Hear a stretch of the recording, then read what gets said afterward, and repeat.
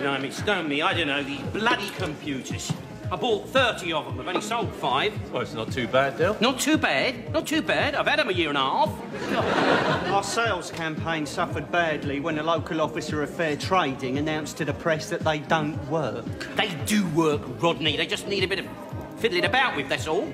They don't work properly. Do you know about this sort of thing then, Dave? Well, yeah, as it happens, I do. Recently, I took a computer course at the Adult Education Centre. And failed. I did not fail. What, you passed?